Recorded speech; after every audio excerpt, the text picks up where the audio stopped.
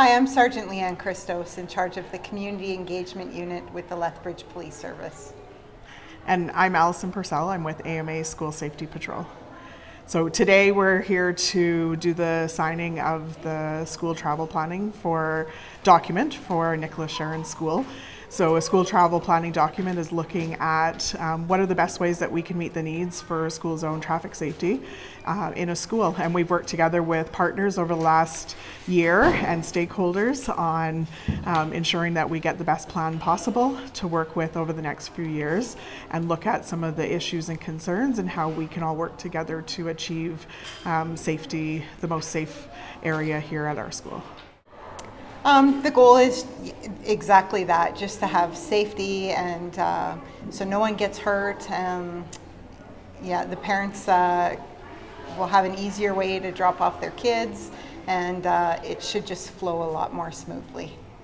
So over the last number of years, the city has had um, uh, worked towards having a transportation safety plan, and um, of course, it was over COVID that it needed to go forward. And so, in uh, early 2021, the City Council did pass and approve the transportation safety plan, and one of the items in there was to develop safe routes to school for all of the schools within the city of Lethbridge. So this is the beginning stages. So this last year.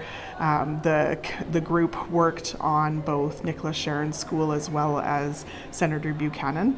So many letters were sent out and conversations with a number of schools, and these were two schools that stepped up and said that they'd like to be the first go round of this. And over the next year, we have another couple schools that we'll be working with.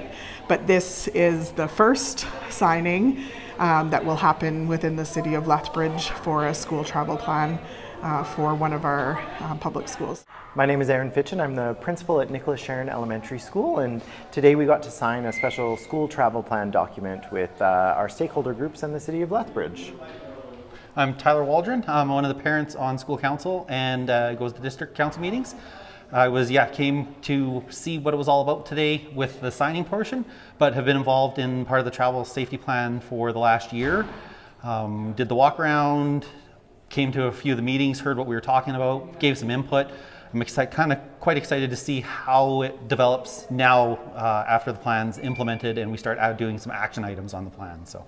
Definitely at the start of last school year, we were having a lot of conversations. So in the 2023-2024 school year, we were having a lot of conversations about safety on our parking lot, safety around Nicholas Sheran Elementary School, and different modes of transportation, thinking about how do students get to school. Um, and so it was kind of a nice opportunity that we heard from the City of Lethbridge around the same time that they were hoping to engage different schools in Lethbridge with the school travel plan process. And so one of the things that we talked about at staff meeting and at our first school council meeting last year was is this something that we can commit to, that we're passionate about, that we think would be important for our school community, and that we're looking forward to engaging in?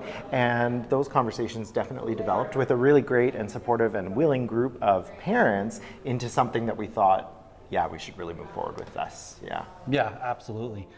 Mm-hmm. it was yeah about safety uh, and the, yeah people commuting to and from school, how they're getting to and from school. Are there alternative methods of transportation? Mm-hmm. Is everybody just driving? Are people taking buses, riding bikes, walking? Could we encourage more alternate forms of transportation? I say alternate in the sense that hopefully not everybody's driving. That we get more people walking, mm-hmm. get more of a community feel to coming to school every day and making it safe enough so that when kids are coming to school in those other ways that they're safe.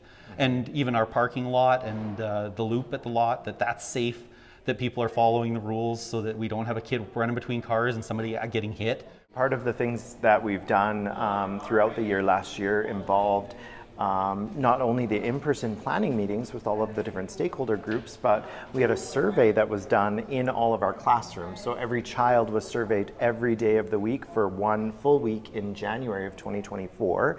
And what came from that was a good amount of data about not just how do students get to school every day and get home from school, how would they like to get to school every day and how would they like to go home every day? And so there was some excitement around riding a school bus or excitement around walking to school.